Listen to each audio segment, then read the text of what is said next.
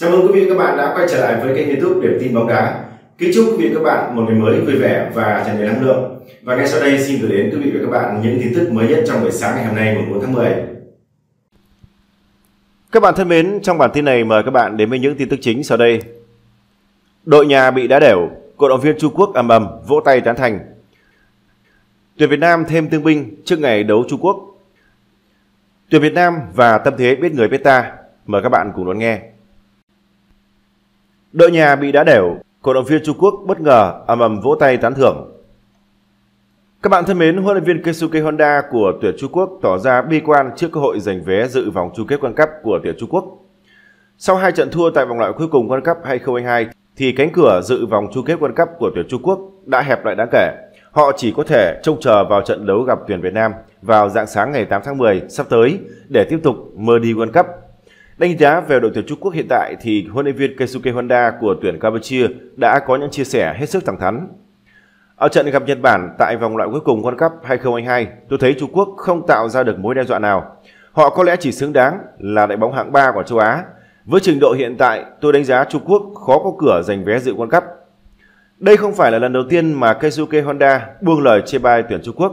Trước đây thì vị thuyền trưởng của tuyển Campuchia cũng từng nhận xét về thầy trò ông Litie là không có cơ hội gì để giành chiến thắng trước Nhật Bản. Trước kiến tuyển Trung Quốc bị huấn luyện viên của Campuchia mỉa mai thì các fan của Trung Quốc lại không hề tức giận. Họ thậm chí còn đồng ý với ý kiến của chiến lược gia người Nhật. Các cổ động viên của Trung Quốc đã phát biểu ý kiến ở phần bình luận trên bài viết của tờ Sina và tờ PP Sport như sau. Huấn luyện viên Honda nói không xa chút nào, chỉ có liên đoàn bóng đá Trung Quốc mới ảo tưởng là đội nhà, là đội mạnh tại châu Á Trận cầu tới mà thua Việt Nam thì tuyển Trung Quốc rõ ràng đã được đặt cách để trở thành đội hạng 3 của châu Á. Với lối đá của tuyển Trung Quốc đang thể hiện thật khó để chúng ta dự World Cup. Tôi không hề thích tay huấn luyện viên Honda này đâu, nhưng thực sự là ông ta nói đúng. Tôi nghĩ huấn luyện viên Honda còn tỏ ra lịch sự khi đánh giá về tuyển Trung Quốc là đội hạng 3 ở châu Á. Chỉ cần không suy nghĩ mù quáng, bạn có thể nhận ra những gì mà Honda nói đều đúng.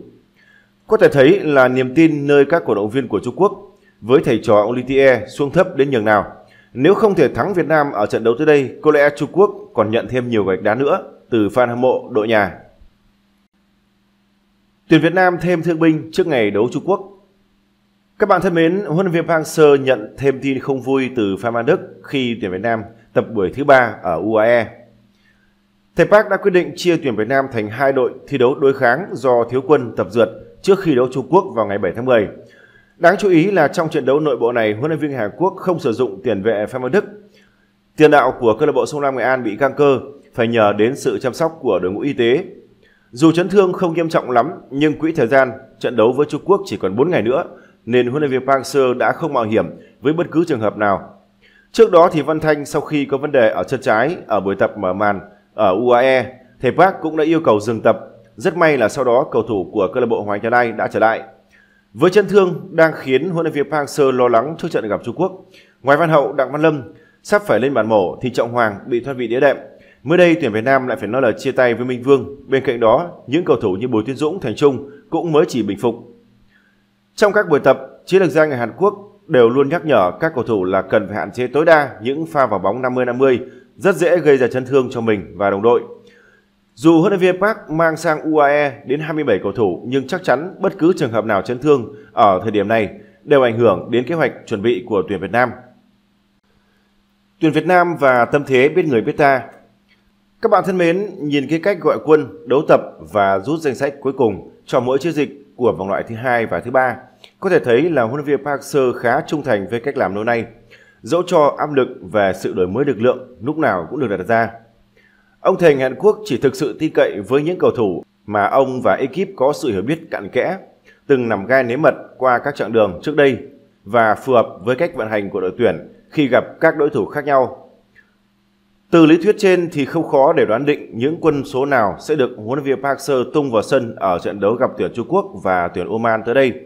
Trong khung gỗ, có lẽ thủ thành Tuấn Trường sẽ được tin dùng sau những gì mà anh đã thể hiện tại V-League và trong các trận đấu tập vừa qua của đội tuyển Việt Nam.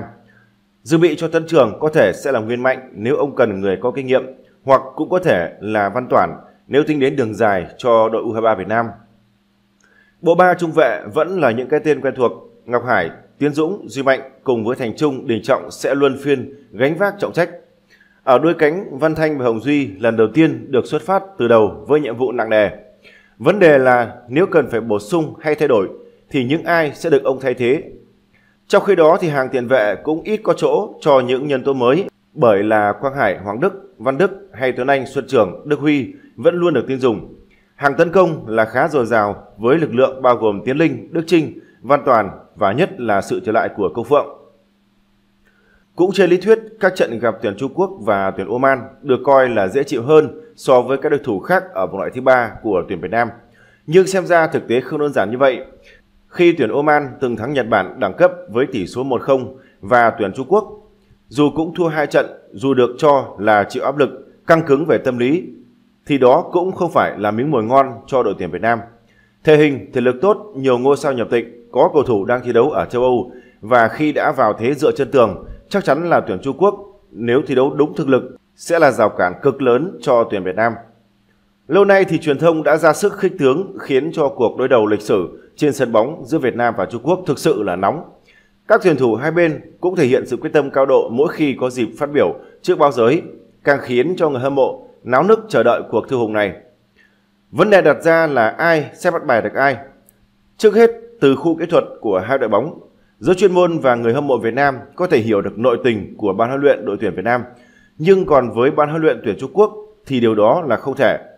Vậy ban huấn luyện tuyển Việt Nam với bộ sậu Hàn Quốc có đủ thông tin để nắm bắt về huấn luyện viên trưởng Lee Tie và bộ sậu của ông hay không và liệu họ có bài gì để khắc chế đối thủ hay không?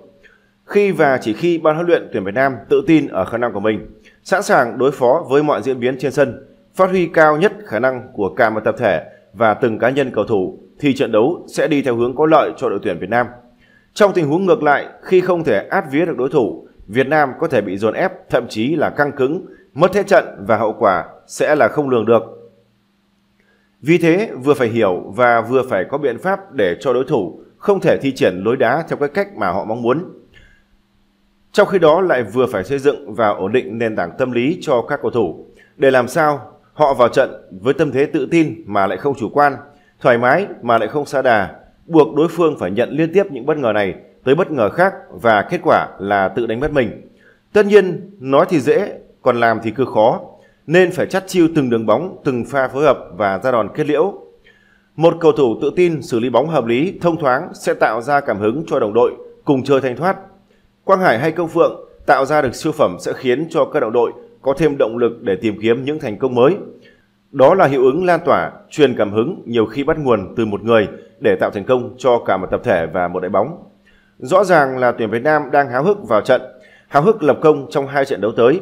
Hy vọng điều đó sẽ được duy trì đến hết cả trận đấu, dù muôn vàn khó khăn thử thách. Thực ra thì đó là hai trận đấu không có gì để mất và nhiều người biết mục tiêu đặt ra là có điểm. Không bắt buộc phải có 3 điểm bằng mọi giá. Nếu tuyển Việt Nam buộc ông hàng xóm lớn mạnh của mình phải chia điểm thì cũng là điều chấp nhận được nếu nhìn về phía trước chúng ta từng bị dẫn với khoảng cách rất xa là 0-6. Nói tóm lại, cái chính là tạo ra một tâm thế tự tin, nhẹ nhõm, biết người biết ta để đi đường dài. Không bao giờ nóng vội, hấp tấp có thể khiến cho mọi việc đổ sông đổ bể. Biết đâu từ nền tảng vững chắc đó thì tuyển Việt Nam của chúng ta lại làm được điều gì đó lớn lao hơn, bền vững hơn ở phía trước. Trên đây là những thông tin mới nhất trong buổi sáng ngày hôm nay, mùng 4 tháng 10. Cảm ơn quý vị và các bạn đã quan tâm theo dõi. Xin chào và hẹn gặp lại quý vị và các bạn.